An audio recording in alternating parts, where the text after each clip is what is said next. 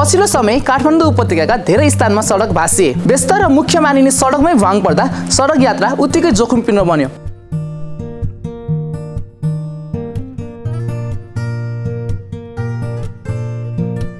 अझ बर्खाको समयमा सडक नै जलमग्न हुँदा कहाँको सडक कस्तो छ भन्ने अनुमान गर्न गाह्रो हुने भइहाल्यो। यस्तो कमजोर संरचनामा सडक यात्रा गर्दा दुर्घटनाको जोखिम हुने गरेको छ। केही समय अघि टुकुचा खोलामाथिको सडक भाँसिँदा कार नै फस्यो। त्योभन्दा अघि नयाँ बजारमा वर्षाको समयमा सडक भाङ पर्दा मोटरसाइकल नै खस्यो। यस्ता दुर्घटनाको लिस्ट निकै लामो छ। आखिर किन भाँसिरहेको छ त काठमाडौँको सडक? किन पर्छ खाल्डै खाल्डो? विज्ञहरूका अनुसार काठमाडौँको माटो निकै कमजोर छ। त्यही अनुसारको इन्जिनियरिङ डिजाइन नहुँदा अहिलेको समस्या देखा परेको हो। त्यसमा पनि सडकमा बनेको म्यानहोल र पट होल अर्थात् मङ्गाल र खाल्डाखुल्टीका कारण पनि सडक भाँसिने जोखिम बढेको हो। पहिलो कारण के भन्दाखेरि जन हाम्रो माटो चाहिँ बलौटे माटो जनरली हामीले त्यहाँ फिल गर्छौँ। अनि बलौटे माटो फिल गरिसकेपछि त्यो बलौटे माटोमा बिस्तारै पानी छिर्दै गयो भने त्यसले चाहिँ त्यो ठाउँमा बिस्तारै तपाईँको खोक्रो बनाउँदै जान्छ। अनि त्यो खो खोक्रो बनाउँदै गइसकेपछि त्यो भूभाग चाहिँ बिस्तारै भाँसिँदै जान्छ सबैतिरबाट भाँसिँदै जान्छ र अनि भित्रपट्टि पानीको फ्लो छ भने चाहिँ पानी त्यहाँबाट छिर्छ र अनिखेरि कहिलेकाहीँ खोलै बगेर जस्तो पनि हुन जान्छ यो भनेको स्ट्रक्चर र सोइलको बिचको सम्बन्धलाई हामीले मिलाउन नजानेर हो यसको लागि सोइललाई कति डेन्सिफाई गर्नुपर्छ स्ट्रक्चरको डेन्सिटीको र उसको सोइलको डेन्सिटी फरक हुन्छ अनि कसरी खाद्नुपर्छ कति खान्नुपर्छ त्यसलाई चाहिँ त्यो त्यसको डिजाइन कस्तो गर्नुपर्छ भन्ने कुरामा अनि त्यसमा पानी छिर्न दिनु हुँदैन। पानी छिर्यो भने भित्रभित्र सिपेज भयो भने भित्रभित्र पाइपिङ भएर त्यो भुवा खोक्रो पर्दै गएर जमिन भाँसिन्छ भन्ने कुरा हामीले अलिकति मिलाउन नसकेको कारणले यस्तो भएको अहिले देखा परेको समस्या समाधानका लागि हामीलाई चाहिन्छ हाम्रो भूगोल अनुसारको इन्जिनियरिङ जुन अहिले भइरहेको छैन। त्यति त्यति हाम्रो सडक बनाउनलाई फ्रेन्डली चाहिँ छैन। यसलाई अँ, अलिकति हामीले त्यसमा चाहिँ अलिकति मिहिनेत गर्नुपर्छ। इन्जिनियरिङ मिहिनेत बढी गर्नुपर्छ। अब यो मिहिनेत के के हो भन्ने कुरामा चाहिँ अब तपाईँले तलपट्टिको सडक कुनै पनि अलाइनमेन्ट बनाउँदै हुनुहुन्छ भने त्यो अलाइनमेन्टमा तपाईँको गाडी भेहिकलहरू कतिको कुन क्यापासिटीको बनाउँदै हुनुहुन्छ त्यसको लोडहरू कति पर्छ अनि कति तलसम्म त्यो लोड जान्छ अनि अर्को समस्या के छ भने हामीले पानी कसरी पटाउँछौँ? पानी बर्खाको पानी परेको बेलामा त्यो सडकमा के हुन्छ? अनि तपाईँको सडकमा जमिनहरूले डिफ्रेन्सियल डिफ्रेन्सियल सेटलमेन्ट भन्छौँ हामी। फरक फरक तरिकाको सेटलमेन्ट हुने। त्यस्तो खालको ठाउँहरू कहाँ कहाँ छ? हो त्यस्तो खालको ठाउँहरू काठमाडौँमा धेरै ठाउँमा छन्। तर त्यो किन हुन्छ भन्दाखेरि अब त्यस्तो खालको ठाउँहरू भएको ठाउँमा सडक बनाउँदाखेरि सडकको डिजाइन धेरै फरक तरिकाले बनाउनुपर्छ। त्यसको राम्रो इक्जाम्पल हामी कहाँ देख्न सक्छौँ भने सडकमा धेरै ठुल्ठुला गाडीहरू आउँछन् भन्ने सोचेर बनाएको चाहिँ अहिले हाम्रो रिङ रोडमा हो होइन? रिङ रोडमा चाइनिजहरूले अहिले बनाउँदाखेरि तपाईँले कलङ्कीबाट कोटेश्वरसम्मको सडक हेर्नु हो भने त्यहाँ धेरै मिहिनेत गरेका छन् तलको त्यो जमिन बनाउनलाई। सरकारवाला निकायहरू के गरिरहेको छ त? उनीहरू भन्छन् बर्सातको समयमा भुवाङ पर्नु स्वाभाविक हो।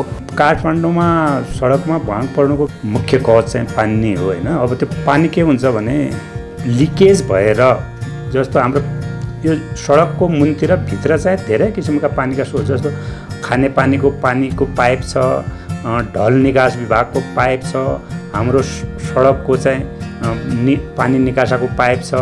ती पाइपहरूबाट बिस्तारै बिस्तारै पानी लिकेज बाहिर गएर अनि त्यो पानीले गर्दाखेरि मसिना मसिना ढुङ्गाका माटोका ती पार्टिकलहरूलाई बगाउँदै बगाउँदै बगाउँदै लगेर त्यहाँ चाहिँ भुवाङ बनाइदिन्छ होइन?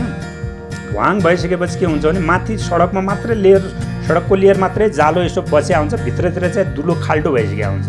अनि धेरै पानी पर्दाखेरि माथि अलिकति प्रेसर पर्ने बित्तिकै त्यो चाहिँ दब्नेर खाल्टो हुने हुन्छ। हाम्रो सडक मुनिको संरचना पुरानो र त्यसमाथि पानीको निकास पनि नभएको कारणले गर्दाखेरि सडक संरचना कमजोर भइरहेको छ। काठमाडौँमा तपाईँको धेरै पुराना संरचनाहरू छन् जो हाम्रो पेभमेन्ट मुनि होइन हामी त्यही माथि काम गरेका छौँ। त्यसको लोकेसन कहाँ छ भन्ने पनि हामीलाई थाहा छैन होइन? पछिल्लो चरणमा बनेका संरचनाहरूको चाहिँ सम्बन्धित निकायले चाहिँ त्यसको आइडेन्टिफिकेसन लोकेसनहरू चाहिँ म्यापिङ गरेका छ होइन? गरेको हुनुपर्छ। तर पुराना चिजको म्यापिङ छैन हेर्नुहोस् है। तर घटना घटेपछि बल्ल त्यहाँ गएपछि थाहा हुने अवस्था हो। इन्सपेक्सन होइन त्यसको चाहिँ अवस्था ठिक छ कि छैन होइन? नत्र भने त तपाईँ यतिकै छोडिदियो भने त कुनै बेला कोल्याप्स हुन्छ नि त। यस्तो पद्धति चाहिँ हुनुपर्छ होइन? सम्बन्धित निकायले यो गर्नुपर्छ होइन? त्यसलाई चाहिँ अहिले भएको संरचनालाई चाहिँ रिप्लेसमेन्ट गर्ने अर्थात् त्यसलाई सबलीकरण गर्ने होइन? त्यो गर्ने क्रममा त त्यसको अवस्था कस्तो छ त हेर्नै पर्छ नि।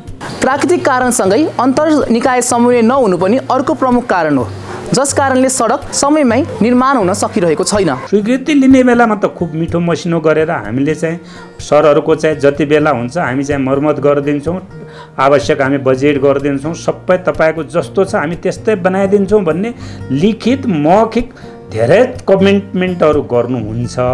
तर के कारणले हो? म यो बुझ्न सकेका छैन। उहाँहरू चाहिँ जुन बेला त्यो मर्मत गर्नुपर्ने हो त्यो उहाँहरू ब्याक जानुहुन्छ र हामी मात्रै फ्रन्टमा चाहिँ आउनुपर्ने हुन्छ। समन्वय समन्वय। यो पञ्चायतकालदेखि सुन्दै आएको शब्द हो। तर भएको छैन त्यही समन्वय। सरकारबाट निकायको अधिकारीहरू नै अहिले अन्तर्निकाय समन्वय नभएको बताइरहेका छन्। त्यही भएर हामी सबैले इमान्दारीपूर्वक चाहिँ आफूले गर्नुपर्ने काम गऱ्यौँ भने यसको सम्भावना निश्चित छ।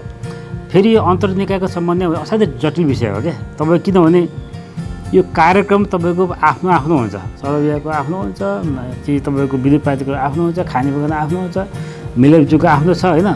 त्यसलाई तपाईँले एउटै भाँडामा राखेर चाहिँ सोल्युसन खोज्दा चाहिँ समाधान निस्किने हो होइन?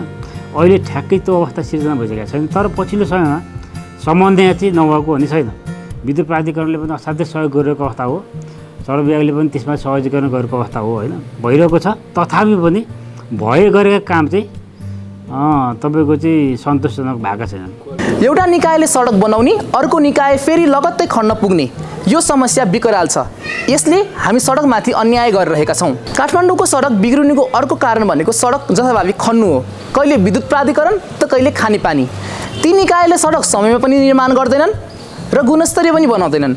जसकारण समस्या थपिएको हो। यो कुरा प्रश्न छ कि काठमाडौँको माटो सडक बनाउन त्यति फ्रेन्डली छैन। त्यसैले सडकलाई बलियो बनाउन इन्जिनियरिङमा बढी मेहनत गर्नुपर्नेको विकल्प पनि छैन। के सडकवाला निकाय बढी मेहनत गर्न तयार हुन्छन् त? यसमा चाहिँ मैले के भन्छु भने हामी कहाँ हामीले सडक खन्ने एउटा फन्डामेन्टल इन्जिनियरिङ नर्म हामीले फलो गरेका छैनौँ। किन छैनौँ भन्नु भने सडकमा हामीले जस्तो तपाईँले सडक खनेर पाइप बिछाउनुहुन्छ तार बिछाइरहनु भएको छ होइन? तपाईँले सडकलाई कति दिनसम्म त्यत्तिकै खुला राखिदिनु त्यो होलहरू होइन खनेको एक्सट्रा पिटहरू। अनि त्यसपछि त्यति मात्र होइन कि तपाईँले पेभमेन्ट पनि नबनाइकन त्यत्तिकै छोडिदिनुहुन्छ। अहिले तपाईँ एयरपोर्टको सडक जानु न हेर्नलाई। तिन कुनीबाट सिनामङ्गलसम्मको सडक हेर्नुहोस् तपाईँले देख्नुहुन्छ ठाउँ ठाउँमा त्यत्तिकै छोडेको आज तिन महिना हुन लाग्यो। ठ्याक्कै तिन महिना हुन लाग्यो होइन? बिल्कुल छोडिदिएको छ। यो बर्सातको पानी कति छिर्यो होला त्यहाँ?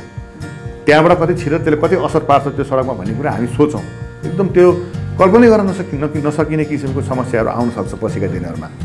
अब यो समन्वयको सिस्टम गर्ने कुरामा चाहिँ किन चल्दैन भन्दाखेरि सबैजनाको सबै सरकारी निकायहरूमा सबैको आफ्नो स्वार्थ हुन्छ। अनि त्यो स्वार्थ र आफ्नो स्वार्थमा अरूले आउनु नआउन् भन्ने कुरामा सायद त्यो कुराको झगडा हो क्या यो? होइन? नगरपालिकालाई आफ्नो सुर गर्न मन लाग्छ प्राधिकरणलाई आफ्नो सुर गर्न मन लाग्छ विद्युत प्राधिकरणलाई सडक विभागले आफ्नो तरिकाले सडक बनाउँछ भर्खर सडक्क लाएर पिच गर्छ रङ लाउँछ। भोलिपल्ट गएर अर्कोले गएर पानीवालाले खनिदिइहाल्छ होइन? तपाईँले देख्नु भएको छ नि। हो यो कुराहरू भनेको चाहिँ मलाई के लाग्छ भने हाम्रो भौगोलिक परिवेशमा हाम्रो काठमाडौँको परिवेशमा त त्यो हामीले एकदमै ठुलो अपराध गरायौँ सडकप्रति। त्यो अपराधलाई कम गर्ने के गर्नुपर्थ्यो भन्दाखेरि तपाईँले सडक खन्नु बनाउनु निर्माण गर्नु त पाउनु पाउनुपर्छ।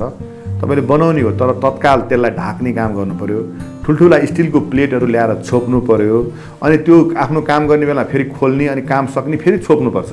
त्यसरी त्यसलाई जस्ताको तस्तै त्यो खाल्डो होइन त्यत्तिकै छोडिदिने धुलो उडाउने वातावरणको कुरा पनि समस्या भयो। अर्को कुरा त्यो सडकमा बर्सातको समयमा भन्नुहोस् न अब मनसुनमा आज हामीले सिनामङ्गलदेखि तिनकुनेसम्मको बाटोलाई हामीले ठाउँ ठाउँमा पाल पारेर छोडिदिएका छौँ। भने हामीले चाहिँ सडकपट्टि त अन्याय गरेका छौँ नि त? हो। यो कुरा भने चाहिँ अब यस्तो गर्नुहुन्न भन्ने कुरा सबैले बुझ्नु भएको छ होइन? तर गर्नुहुन्छ क्या? मैले मैले नबुझेको चाहिँ त्यो हो।